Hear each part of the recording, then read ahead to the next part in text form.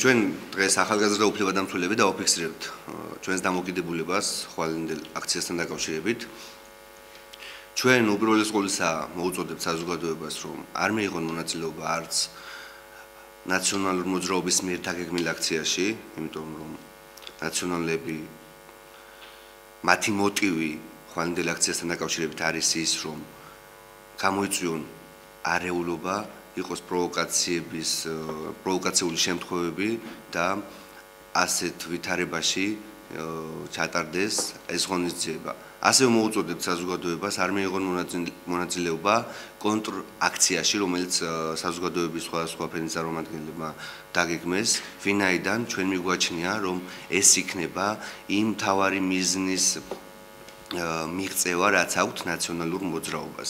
იმიტომ როგორც უკვე ვთქვით, მინდა გავიმეორო რომ ნაციონალურ მოძრაობას აქვს დაგეგმილი პროვოკაციული ქმედებები, ნაბიჯები, ეს მიზანმიმართულად ეს მოქმედებები მათ რამოდენიმე თვის მანძილზე დაგეგმეს და პიკი უნდა იყოს ხვალინდელი აქცია.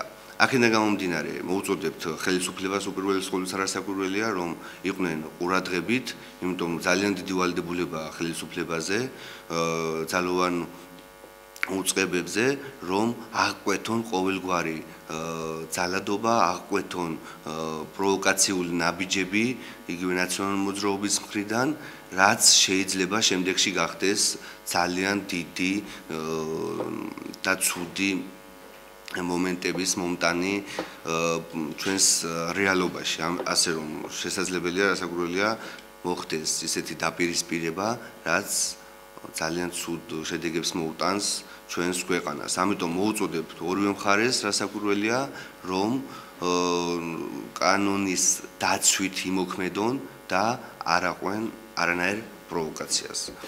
ჩვენ ძირითადად გავამახვილეთ ყურადღებას პასუხისგებლობაზე.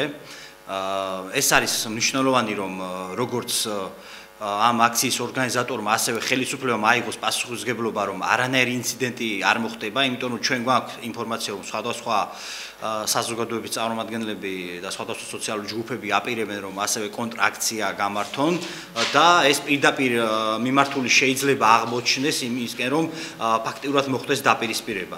ყოვლად მიუღებელია ჩვენთვის ყოველგვარი დაპირისპირება, ეს ნებისმიერი ანუ ამ ორივე აქციის და მონაწილეებს მოუწოდებთ და არავითარ შემთხვევაში მსგავსი ტიპის ქმედებები არ უნდა დაუშვან ძალოვანმა სტრუქტურებმა. პირდაპირ პასუხისგებლობა მათი რომ არ მოხდეს რაიმე ინციდენტი.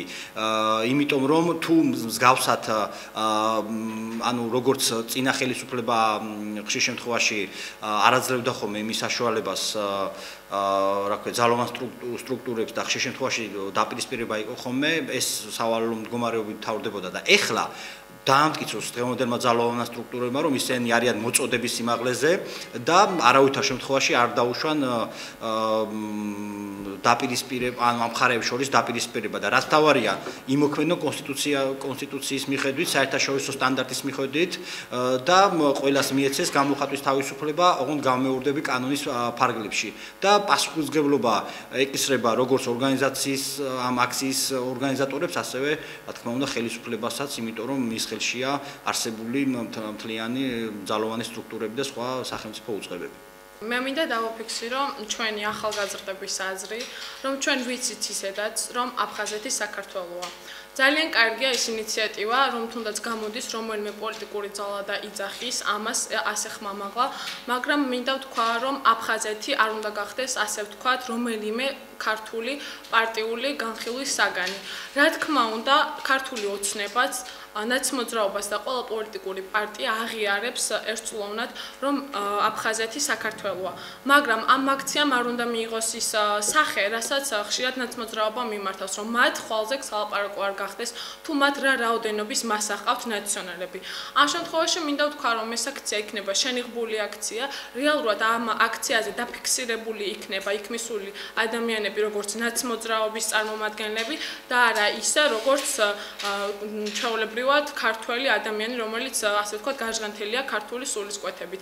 ასევე მინდა ვთქვა, რომ ნაცმოძრაობას არ აქვს არანაირი მორალური უფლება ისაუბრო საქართველოს ერთიანობაზე, როდესაც მათ თავისი ხელისუფლებაში ყოფნის დროს ნაკუწ-ნაკუწ გაყიდეს საქართველოს ტერიტორიები ამა თუ იმ სხვადასხვა ინვესტორების.